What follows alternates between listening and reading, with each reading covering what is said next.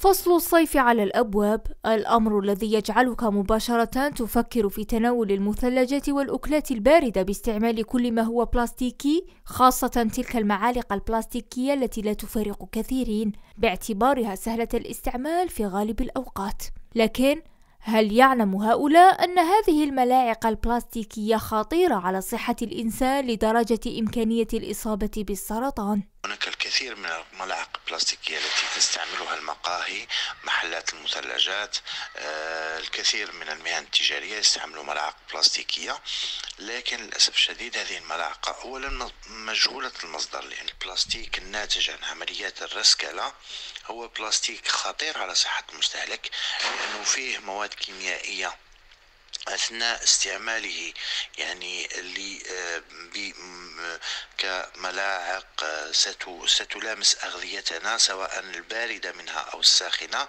فهذه المواد الكيميائية أكيد ستنتقل إلى أغذيتنا ومنها إلى جسم الإنسان وتسبب الكثير من الأمراض وعلى المدى الطويل قد تسبب يعني عافانا وعافاكم. الله السرطان. جمعية حماية المستهلك تحذر من استعمال الملاعق البلاستيكية خاصة داكنة اللون وذلك لما تحمله هذه الملاعق من خطورة على صحة المستهلك مستقبلا. يعني الملاعق آه، داكنة اللون تذهب المنظمة إلى أنه آه، هذه الملاعق ناتجة عن عمليات الرسكلة للبلاستيك وهذا أمر غير مقبول خاصة الجميع يعلم أن البلاستيك الذي يجب استعماله لملامسة أغذيتنا يجب أن يكون بلاستيك غذائي ويجب أن يكون مطبوع بختم الكأس والشوكة.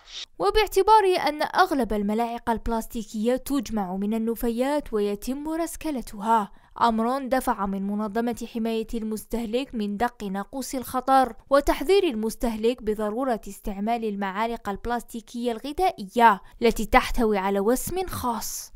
المنظمة الجزائرية لحماية وإرشاد المستهلك ومحيطه دقت ناقوس الخطر. لذلك نتمنى حتى من المستهلك أنه آه، يمتنع يرفض استعمالها ويطالب بملاعق بلاستيكية غذائية وأغلب الملاعق البلاستيكية الغذائية هي ملاعق شفافة. إذا وسط اختلاف وتنوع الملاعق البلاستيكية إلا أن اختيار النوعية المناسبة من المستهلك قد تنقذه من الإصابة بأمراض خطيرة.